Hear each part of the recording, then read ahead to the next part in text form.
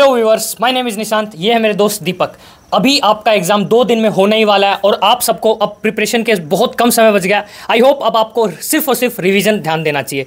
और आप देख लीजिए आपका एग्जामिनेशन सेंटर कहाँ पर पड़ा है, किस सिटी में पड़ा है, वो आपके घर से कितनी दूर है। आप बस से जाएँगे ऑटो से जाएँगे या कैब से जाएँगे, बशर्ते आपको रिपोर्टिंग जो टाइम दे रखा है, उसी पर आपको पहुँचना है। बिल्कुल। एडमिट कार्ड डाउनलोड कर लीजिए और उसके साथ साथ आपको दो फ़ोटो और एक आईडी प्रूफ लेकर जाना है। मेरा तो ये कहना है जो आईडी प्रूफ आपके पास ज़्यादा है उनको भी ले चलो घर पे क्या ही काम आएँगे उनको भी डाल लो जेब में। बिल्कुल बिल्कुल। दो आईडी ले लो तीन आईडी प्रूफ ले लो। बिल्कुल। हाँ। और लास्ट मोमेंट में आपको कई सारे बच्चे ऐसे होंगे जो पढ़ते हुए नज़र आएँगे तो आपको पैनिक पैनिक नहीं करना है? जब हम एग्जामिनेशन सेंटर जाते हैं तो हम देखते हैं कि कुछ स्टूडेंट्स नोटबुक से पढ़ रहे हैं कुछ शॉर्ट नोट से पढ़ रहे हैं कुछ वाहियात का सिलेबस भी पढ़ रहे हैं। जो स्टूडेंट्स होते हैं ना वो देखते हैं पैनिक कर जाते हैं अरे यार इनकी तो ज़्यादा प्रिपरेशन है। ऐसा कुछ भी नहीं है। लास्ट स्टेज में पढ़ने से क्या होता है यार? ऐसा कुछ नहीं। जो आपकी प्रिपरेशन होनी थी ना वो अगस्त और सितंबर के मंथ में होनी होनी थी। अगर आपने उन दिनों में अच्छा किया तो आप यहाँ पर भी अच्छा ही करेंगे। बस हाँ आपको भी लास्ट तक साथ नहीं छोड़ना है। आपको भी प्रॉपरली पढ़ते ही रहना है। कुछ ना कुछ नोट्स आपके जो पुराने हैं मल्टीपल रिवीजन भी कर सकते हैं। अगर किसी का एक बार हो गया तो दो बार करो तीन बार करो चार बार करो। बिल्कुल बिल्कुल। और आपको थोड़ा टाइम का ध्यान देना है। दो घंटे आई थिंक दो घंटे का एग्ज़ाम है तो आप कोशिश करना फ़र्स्ट अटेम्प्ट में जो मैक्सिमम क्वेश्चन हैं वो आप 90 मिनट्स या 100 मिनट्स में कर पाएँ जिससे आपको गैस करने का या जो क्वेश्चन आपके 10 या पाँच क्वेश्चन जो भी फंस रहे हैं उसको टाइम दे सकें आप बाद में। और मैं ये कहना चाहूँगा कि लास्ट डेट जो है उस दिन आप प्रॉपर नींद ज़रूर लें। उस दिन आप साढ़े दस बजे आप पढ़ना स्टॉप कर दें और सोने का ध्यान दें। ठीक है इस चीज़ को कैसे कर सकते हैं? जो आपका एग्ज़ाम से एक दिन पहले उस दिन आप सुबह पाँच बजे उठ जाएँ।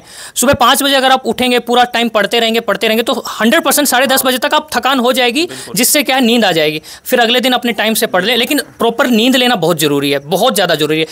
अननेसेसरी स्ट्रेस लेंगे तो आप क्वेश्चन मिस रीड करेंगे। आपकी स्लीप प्रॉपर नहीं होगी तो क्वेश्चन गलत पड़ेंगे डेटा गलत पड़ेंगे अगर आपको लगे पेपर में किसी क्वेश्चन पे आप अटक रहे हैं तो उस क्वेश्चन के पीछे ना पड़े। बिल्कुल। अगर आपको लग रहा है सारे क्वेश्चंस एग्ज़ाम में एक ही मार्क्स के होते हैं आपको ज़्यादा से ज़्यादा स्कोर करना है। करेक्ट। बिल्कुल। और हम आपसे यही कहना चाहते हैं, इस एग्ज़ाम में आपको बेस्ट विशेष इस एग्ज़ाम के बाद क्या कट ऑफ़ होगी, ये हम एग्ज़ाम के बाद डिस्कस करेंगे। पहले इस चीज़ पे ना लेके जाएँ। पहले जो आपका टारगेट है, आपको मैक्सिमाइज जो स्कोर करना आप वही स्कोर कीजिए। कट ऑफ़ वगैरह हम बाद में डिस्कस करेंगे नॉर्मलाइजेशन भी होगा, खैर, उसके लिए हम बाद में आपकी हेल्प करेंगे। जो भी डॉक्यूमेंट्स किसी के पेंडिंग है, वो एडमिट कार्ड जो डाउनलोड नहीं कर पा रहे हैं, वो प्लीज़ एक बार कैफ़े पर चले जाइए। कैफ़े वाले भैया को बोल दीजिए, वो डाउनलोड कर देंगे आपके लिए। और एक एक छोटा सा पॉइंट है। अभी एग्ज़ाम में क्या पाँच ऑप्शन कर दिए तो मेरे मुझे नहीं लगता कि गैस करने से उतने ज़्यादा बच्चे सही कर पाएँगे। तो आप कोशिश करना मैक्सिमम्स का आंसर देने की। अगर मान लो लास्ट में आपके टेन मिनट्स बच रहे हैं और आप सोच रहे हो कि मैं बीस या तीस गैस कर देता हूँ तो मेरे दो या तीन सही हो जाएँगे। उतने दस मिनट में तो आप दो या तीन ऐसे कैलकुलेट करके या सॉल्व करके भी सही कर दोगे। तो आप कोशिश करना कि लास्ट में भी आप सॉल्व करने की तरफ़ ज़्यादा ध्यान देना। लास्ट में हमारा यही मैसेज है सभी व्यूवर्स को। आपने अच्छी प्रिपरेशन की है अगस्त में सितंबर में। आई होप आपको समझ में आ गया होगा क्यों हम बोलते थे कि आप प्रिपरेशन कर लीजिए अगस्त सितंबर क्योंकि वही सही समय होता है प्रिपरेशन करने का विदाउट बर्डन एक बार एग्ज़ाम डेट जब अनाउंस हो जाती है तो हमारे पास समय बहुत कम बच जा, बच जाता है। आई होप जिन जो लोग फ़र्स्ट टाइम प्रिपेयर कर रहे होंगे, उनको कुछ सीखने को मिला होगा। और जो इन्होंने अपनी प्रिपरेशन स्टेज में जो मिस्टेक्स किए हैं आई होप जो आने वाला एग्ज़ाम है एटीसी एग्ज़ाम या फिर आने वाले समय में जो कॉमन कैडर फिर से होगा, उसमें आप ये मिस्टेक्स ना करेंगे।